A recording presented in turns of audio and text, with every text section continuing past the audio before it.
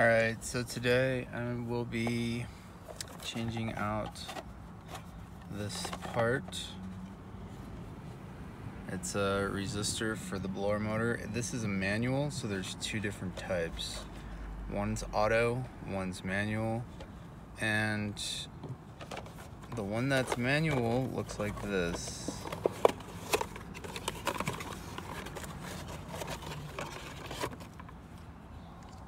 Like this. So this is the blower motor port and this is the controls. The switches and stuff.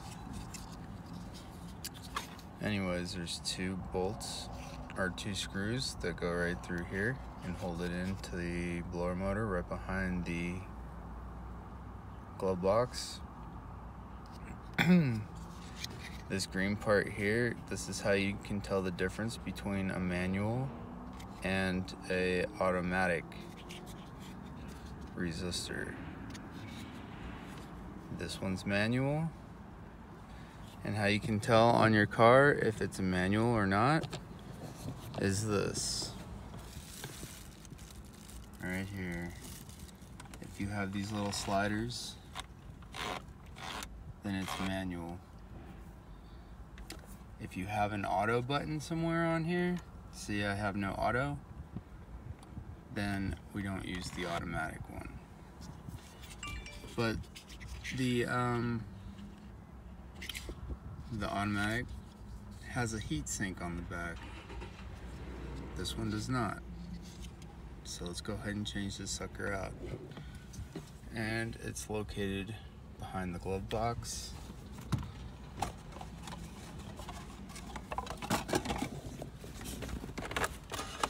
Here. Pop these out. Drop this down, and everything's probably gonna fall out if you don't put a bottle under it. Okay. Let's go ahead and plug this sucker in, shall we?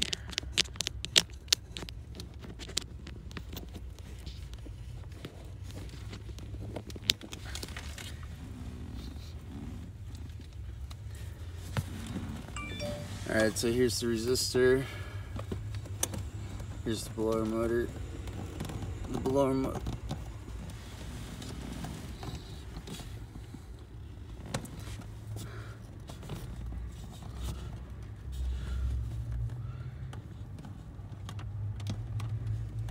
Oh, fuck.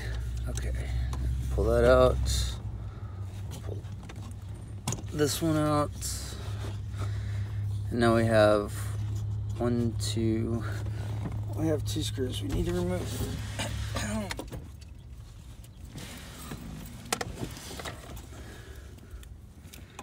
it's eight millimeter.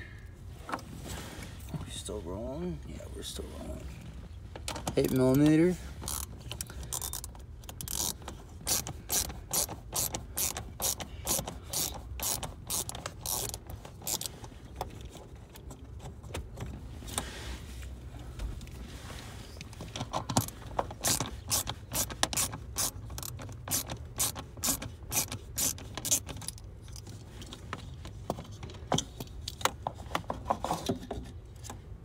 Oh, what the fuck is this thing?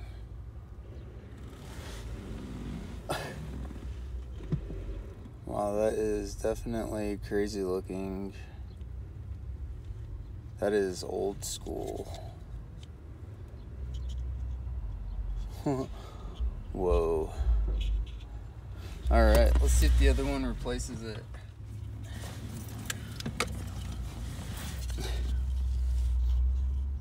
Yeah, it looks like it will though.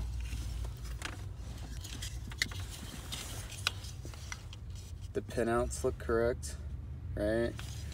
I bet you this was just old, old uh, way of thinking, and then they figured out how to make it better. So this is the uh, placement. Let's see if it works. We're not gonna um, we're not gonna screw it in yet, just in case it doesn't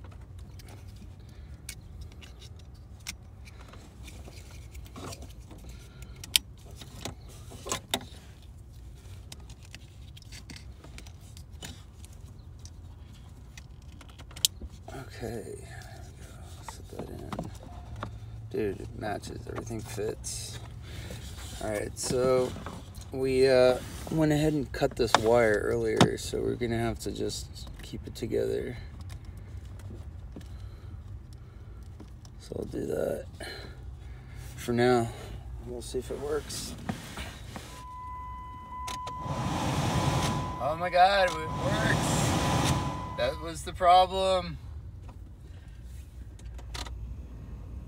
Rear motor.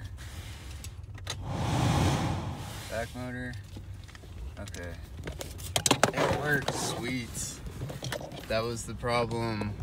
That was the problem. We fixed it, guys. All right, so let's check it. So we've got that in now. Front motor is working.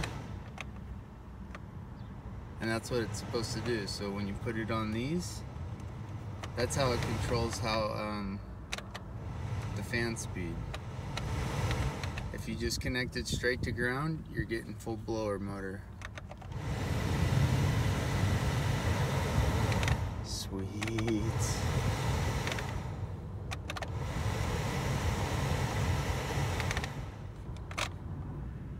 Rear motor, front motor. All right, let's go ahead and wrap this all up. Jesus, what's in there? Boy, I tell you what, it's in there tight.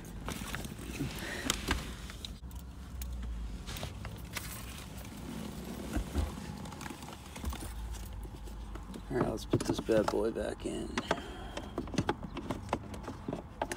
It's back in there. It's so weird.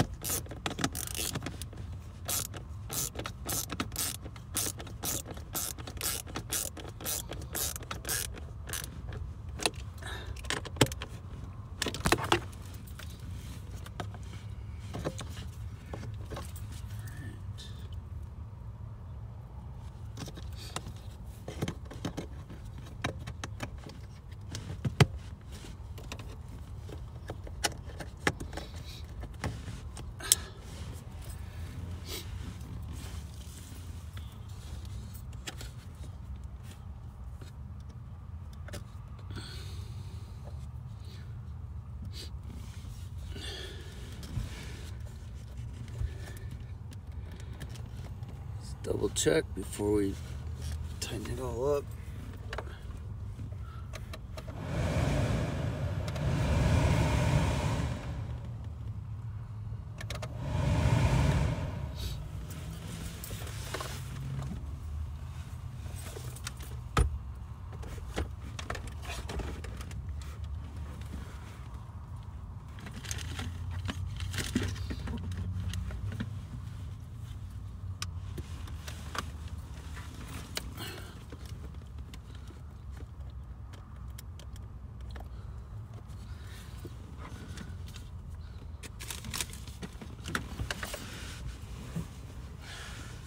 What do I do with that switch?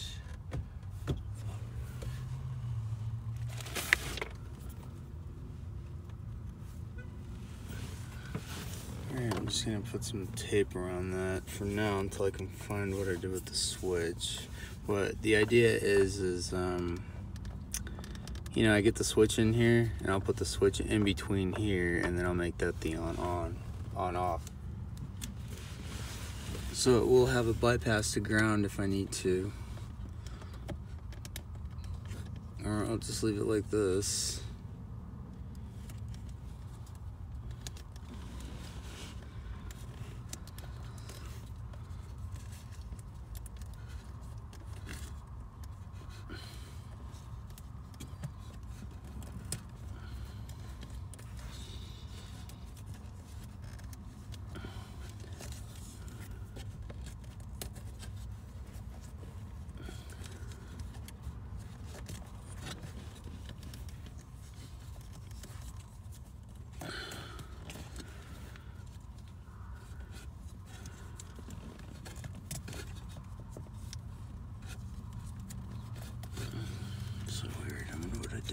Switch.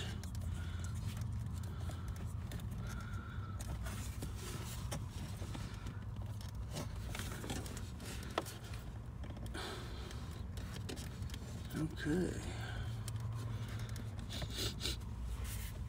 Let's see if it works. We're good. That's only temporary. Uh, this until I can get that switch in there, and then I'll just run the switch to ground. So if something happens to this, again, I can just you know click the switch, touch ground, and the motor will spin. All right, peace.